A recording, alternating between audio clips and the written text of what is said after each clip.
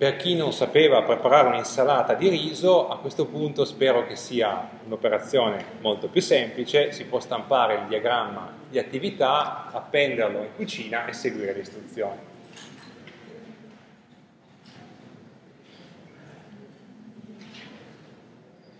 Allora, anche qui eh, devo leggere il testo e capire fondamentalmente dove c'è sequenza e dove c'è parallelismo, perché quelli sono i due eh,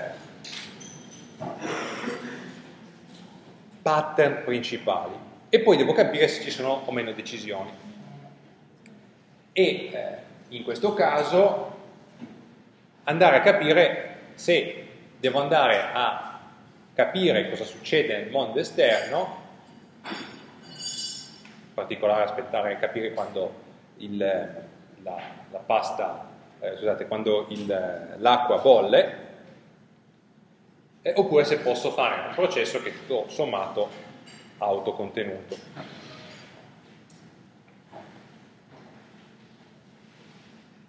Quindi la prima operazione che faccio è mettere a bollire dell'acqua salata. Vado sul mio programma di modellazione e creo un nuovo diagramma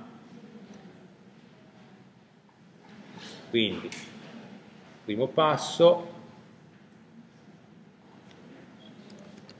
metto a mettere a bollire acqua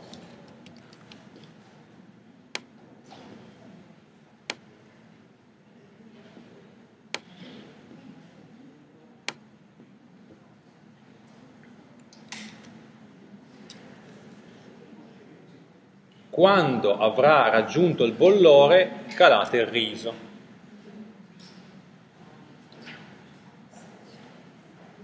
Eh, quando avrà raggiunto il bollore?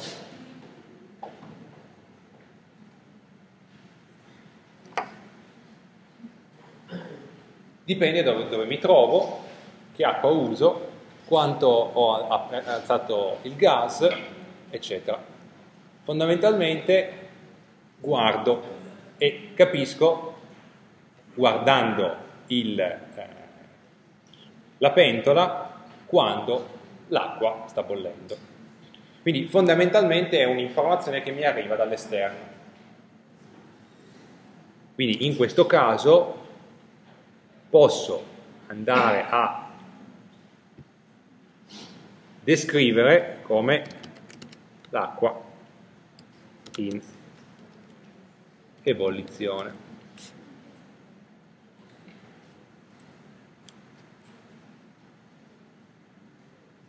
Eh, in questa applicazione automaticamente mi viene messo questo che si chiama stereotipo, che mi indica che questa è una ricezione di un segnale. A me personalmente non piace molto perché in realtà già la forma del, dell'attività indica che quello è un segnale, è la ricezione di un segnale, quindi di solito io lo disabilito, quindi clic destro e tolgo la visibilità dell'estereotipo. Okay. Se a voi non disturba potete tranquillamente lasciarlo, non è questo un elemento essenziale.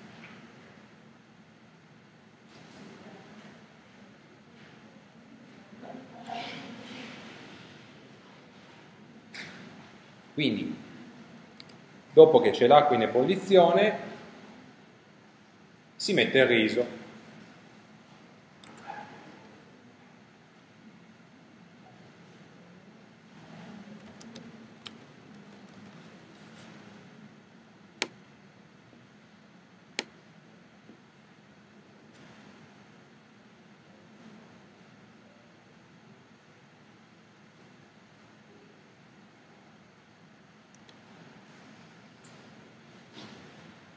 mentre l'acqua bolle, il riso cuoce,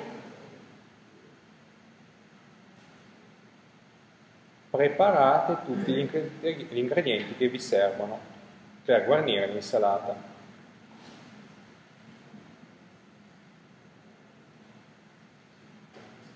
Questo mentre suggerisce che faccio qualcosa in parallelo all'ebollizione dell'acqua. Quindi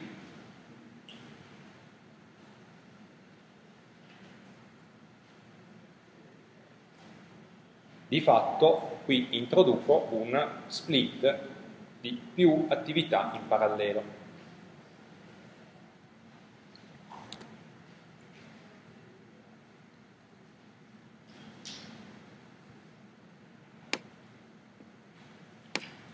e di attività in parallelo quindi un certo numero.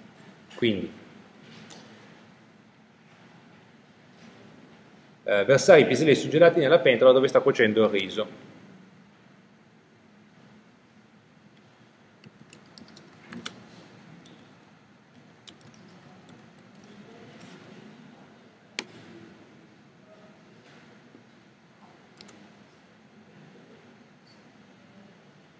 Tagliare i Würstel.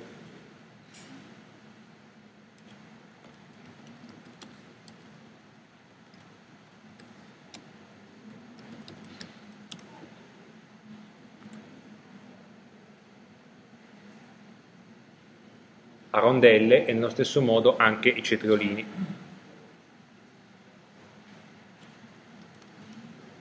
Tagliare cetriolini. tagliare i pomodori a cubetti,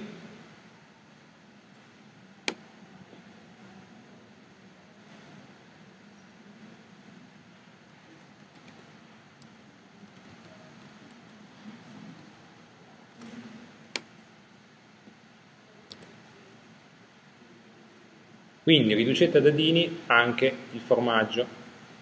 Ecco, in questo caso il quindi non, non indica la sequenza. Okay.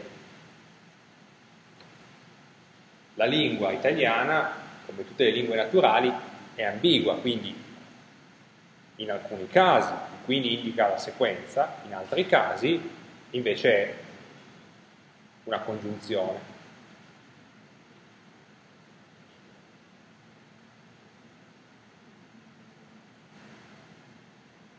Quindi riducete a dadini anche il formaggio. Tagliare il formaggio.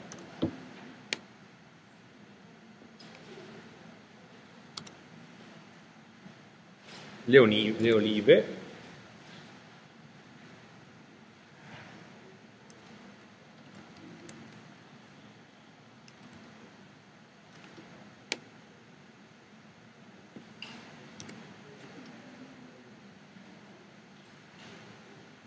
in una ciotola versate tutti gli ingredienti sminuzzati.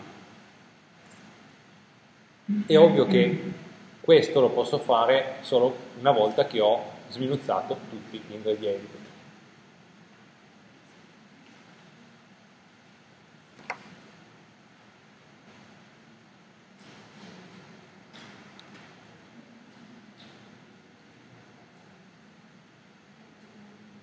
Quindi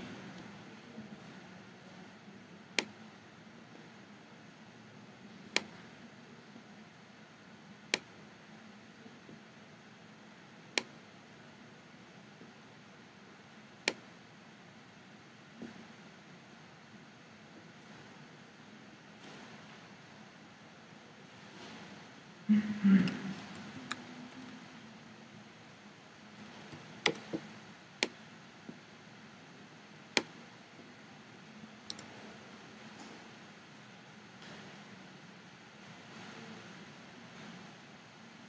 volta che il riso è cotto, unite il riso e i piselli alla ciotola con gli ingredienti sminuzzati.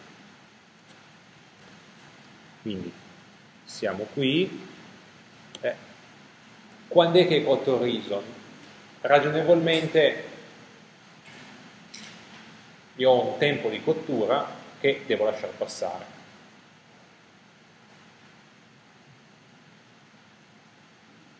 almeno sulla carta. Poi le cose possono essere un po' più complicate, potrei assaggiarlo periodicamente.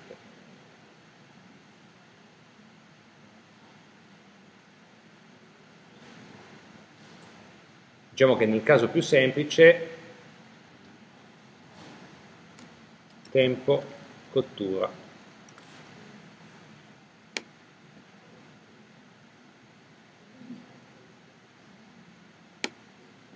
Lo posso mettere qui in cascata, lo posso mettere eh, in parallelo. In realtà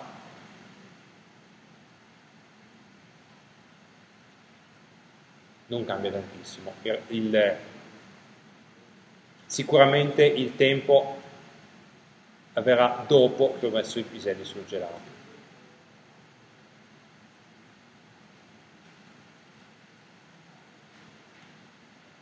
Una cosa che ho dimenticato di fare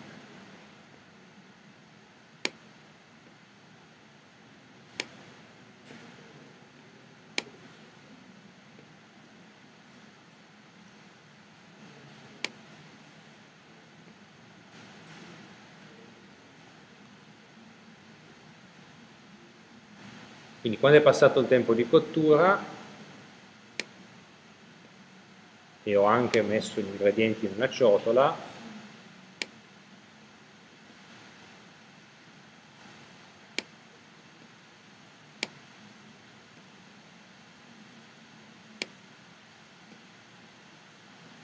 posso andare a unire riso alla ciotola.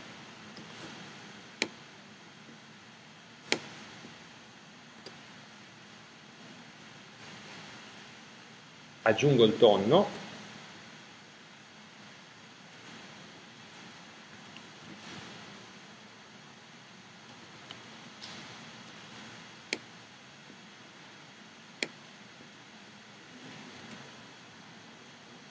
Mescolo per bene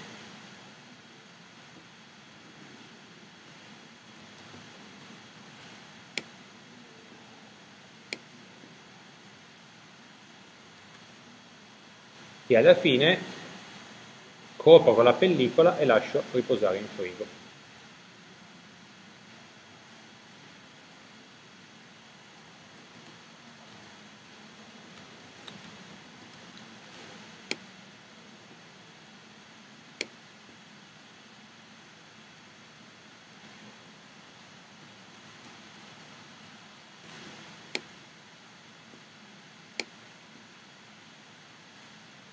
E a questo punto il processo è finalmente terminato.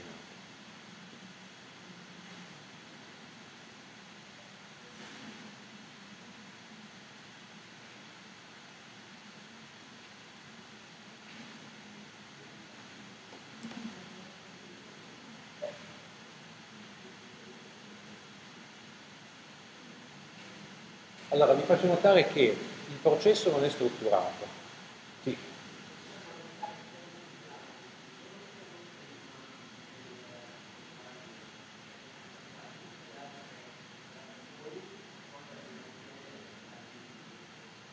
sì, ragionevolmente sì, eh, ma per come è scritta la ricetta, allora, usando il nostro senso comune hai perfettamente ragione, però per come è scritta la ricetta questo non c'è scritto. Se non c'è scritto devo buttare i piselli subito. O non mi dice che è importante aspettare del tempo o meno. Okay? Per cui in realtà è la ricetta che non è così precisa.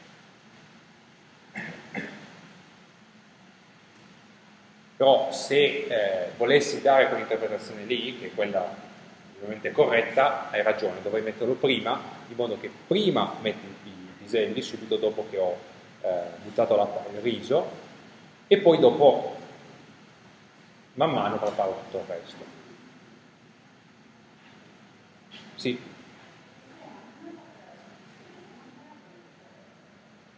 Non manca?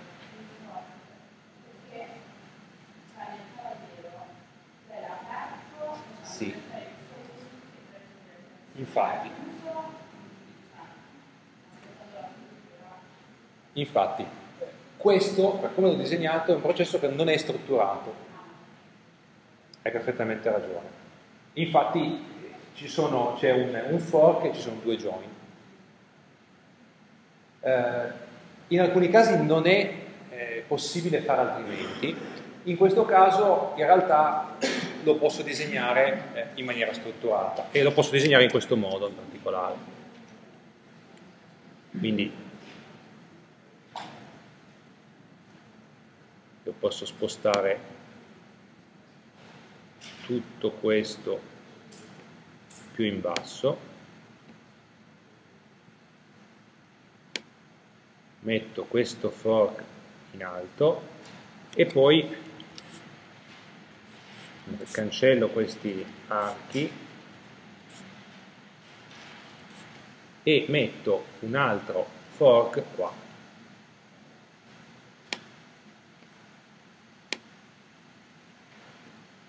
E poi da questo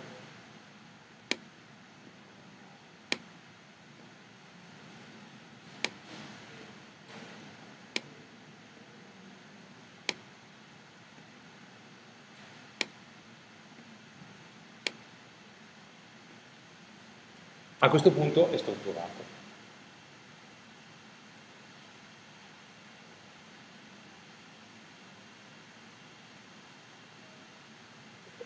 Potete notare guardando questa soluzione, quella che c'era prima, che un processo strutturato come questo è più facile da leggere, perché io identifico facilmente un blocco che è tutto questo, di attività fatte in parallelo.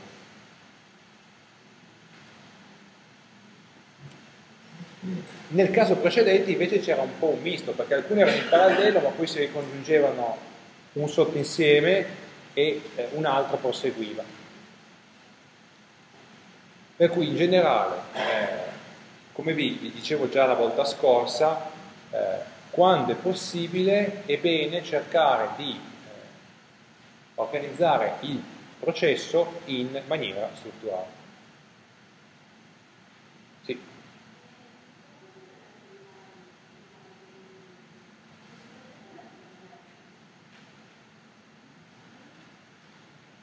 Qui sotto, qui mettere un merge. No, perché il merge come funziona?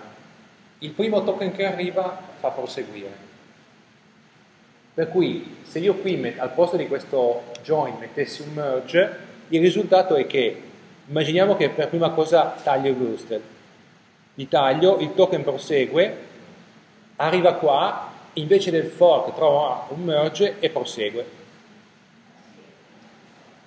E prosegue qui e poi va avanti qua. E gli altri,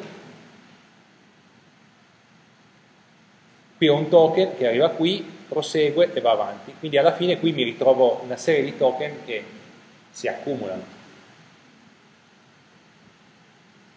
Quindi non ho un token che arriva da questo percorso, ma ne ho 5. Invece questo eh, join aspetta un token di qua e un token di qua. in generale è un errore chiudere un fork con un merge. Il fork richiede un join per permettere di ricongiungere i percorsi. Sì.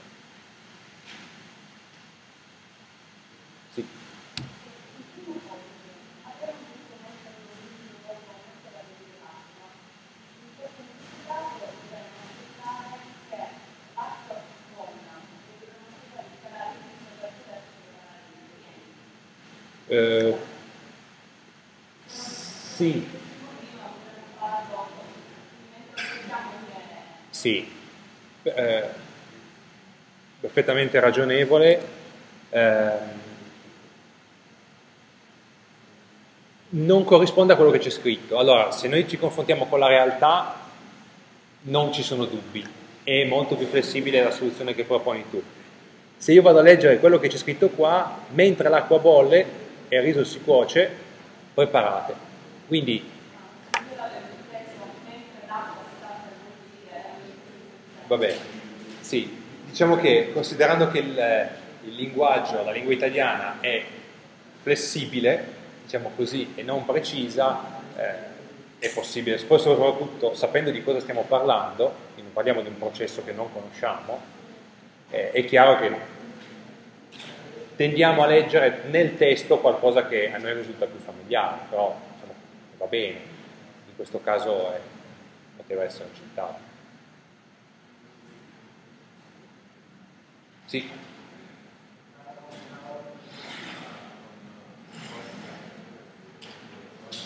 Scusa, non ti sento, puoi ripetere? Sì. Sì. No, allora, la, soluzione che avevo fatto prima io, quindi quella di avere invece di questi due fork in cascata, in modo che eh, a questo fork corrisponde questo join, a questo fork corrisponde questo join in maniera strutturata, eh, eh, mettere assieme questi due eh, fork non era errato. Okay? Semplicemente fatto così è un po' più facile da, eh, da leggere, però se vi viene naturale farlo in un altro modo non è errato.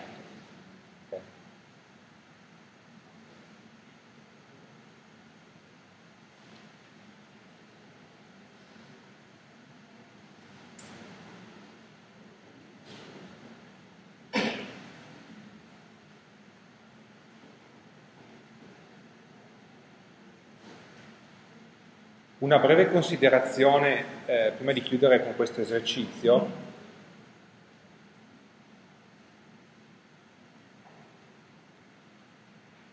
Ci sono molti dettagli che sono lasciati non descritti.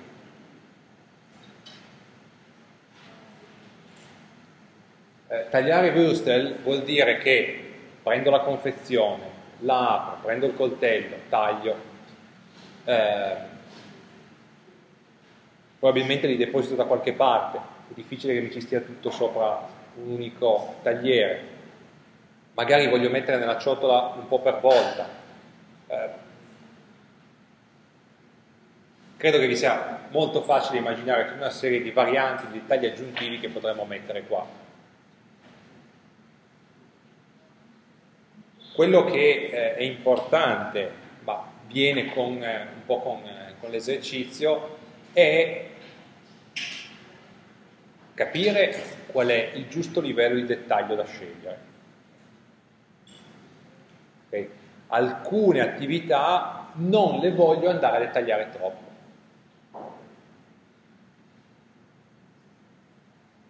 Immaginate che io debba andare a descrivere un'operazione che viene fatta con un, un'interfaccia web. Alcune operazioni, ad esempio, se inserisco eh, un indirizzo di mail senza la chiocciola mi viene segnalato un errore. E con questi dettagli qui probabilmente non sono rilevanti quando descrivo un processo molto complicato. Magari sono rilevanti se vado a descrivere un sottoprocesso molto più ristretto.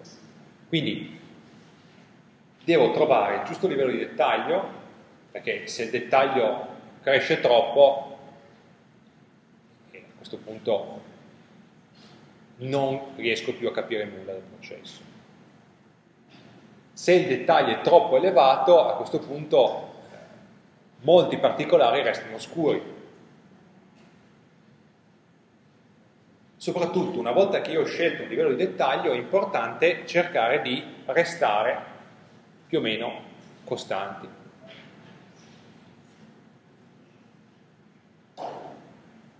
Quindi se scrivo tagliare il Würstel, non è che quando parlo del formaggio vado a dire che prima ne taglio un pezzo, poi tolgo la crosta, poi lo taglio eh, in maniera longitudinale, eh, poi lo giro, lo taglio, eh, eccetera.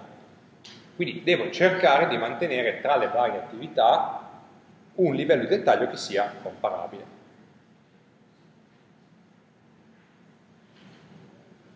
Poi se c'è qualche particolare che è molto eh,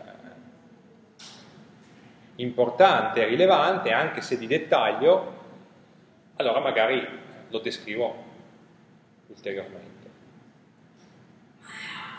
Ma in generale mantenete un livello di dettaglio omogeneo. Sì.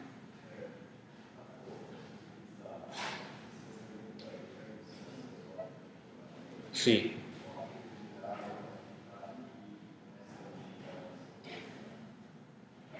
No, allora, in questo caso, eh, forse gli esempi che abbiamo visto, abbiamo un fork in cui abbiamo una serie di attività in parallelo e poi subito dopo il join.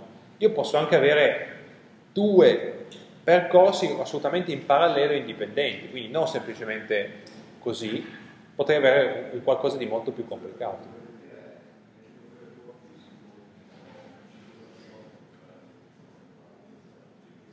No, no, no, attenzione. Eh, distinguiamo che cosa bisogna fare da chi lo deve fare. Qui non c'è nessuna informazione su chi fa che cosa.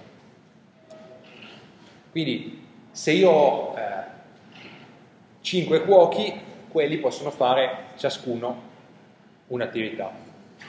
Se il cuoco è unico, eh, ne farà una dopo l'altra.